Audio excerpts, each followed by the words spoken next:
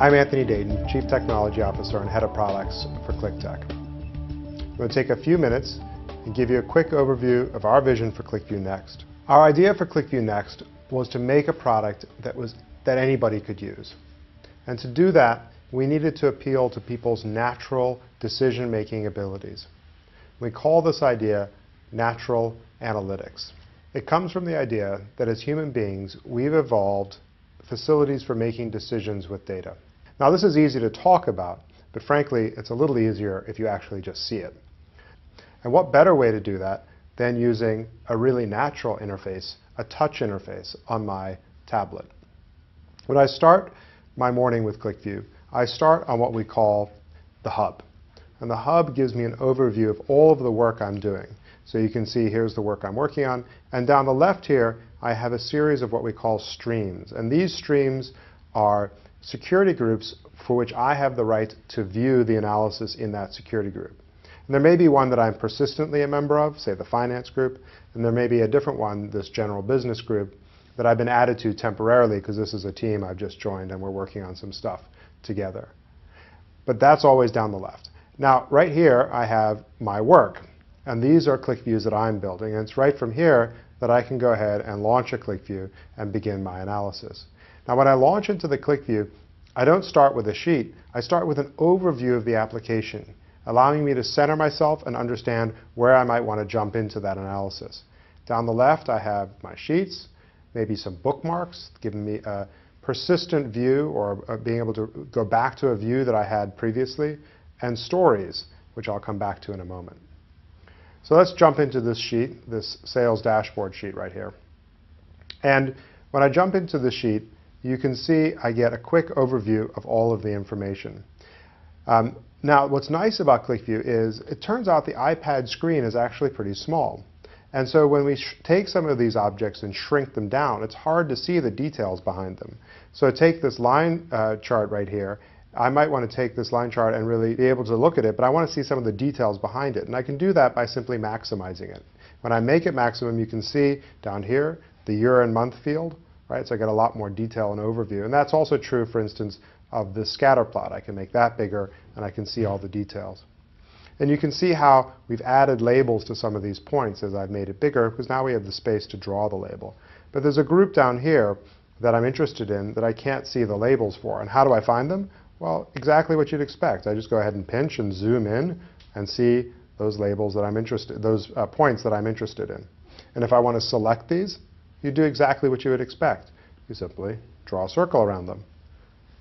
And we're off and running. Now I've made that selection. And when I come back to the more overview uh, view, I can see I have the same set of sales reps selected, and all the rest of the charts have updated in the context of that selection. You can see here I have a more tabular view of the data, right? And you know, I can sort that by sales amount or by back order amount, quickly sorting and seeing relationship among the data. This bar chart also provides me a good opportunity to show you something cool. Often users want to uh, select a set of bars by you know, tapping on them, exactly what you expect, but sometimes they want to select a series of categories, and they can do that by just selecting along the axis. Or perhaps I want to select these middle range of bars. I can do that on that axis. Or perhaps I want to use the actual um, legend to select a set of bars right here. So these are very natural behaviors, natural metaphors for making selections in the application, and I do them literally just by touching. Now as I've been making selections in the app, you see that up here on the top, I've been creating a series of little list boxes which give me an overview of what I've selected. And if I want to add to that selection, maybe I want to toss bread into there as well, I can do that right from here. Now, this is fine, uh, but how hard is it to add one of these uh, sheets myself? Well, I can go ahead and do that. Let's go ahead and add a sheet and jump in. Now, when I start the sheet, of course, it's empty, so I have to edit it uh, to add some things to it. So Let's go into the library. I don't start by uh, having access to every field in the application. I start with a series of measures and dimensions which may be relevant to me uh, and useful to me uh, from an analytic perspective. So I can take, uh, maybe I'll take channel name and drag that over here.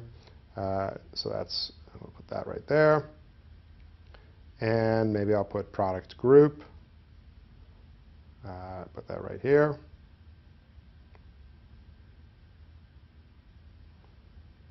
And make it a little wider.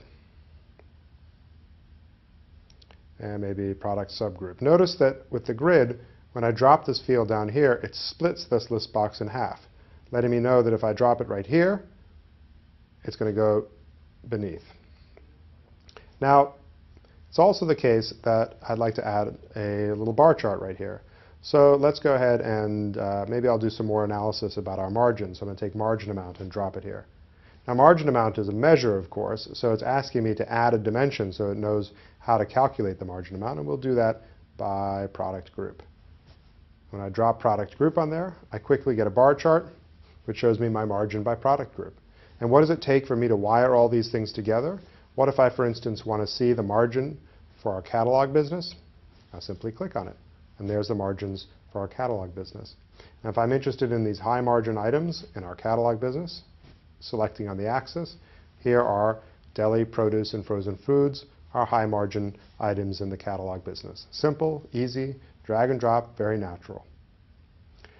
Now we talk a lot about uh, QlikView so far. It's really been an analytic experience of being analyzing the data. But the other half of analysis is persuasion. I want to convince you of a conclusion that I've drawn from my analysis. And we do that using storytelling. So I can start right from within here and I can launch into my stories that I've added. And I've taken the liberty of writing a little story here about our top customers. And I can go ahead, put that into full screen mode and tell you a story about our top customers. Most of them are international. And I can sort of cycle through Here's at the top products that our customers buy. And here's other products that our top customers have bought. And here are the sales reps I think we should begin our new segmentation strategy with. And you're probably really convinced about my great presentation, about uh, my insights from this QlikView. But you might even have some questions. You might question me about these particular sales reps that I selected. And what's nice about storytelling is I can jump straight from the story back into analysis mode in the context of the selection I had when I came to that conclusion. And here are those sales reps that we were going to target, and maybe you don't think Sandra is a good person to have as part of the group, and you think rather I should select these, and I can go ahead and do that. And now we can have an intelligent debate about the segmentation strategy conclusion that I came to. And when we're ready, we can go right back into storytelling mode, and I can continue my story. So I hope you've gotten a sense for QlikView Next as a very natural, easy to interact with product that appeals to my senses uh, and my skills as a decision maker with a touch interface that's simple and easy to use. And then I can move from that analytic experience straight into a storytelling mode and back to help persuade you of the conclusions I've come to in my analysis. I thank you for your time, and I look forward to working with you on QlikView Next. Thanks.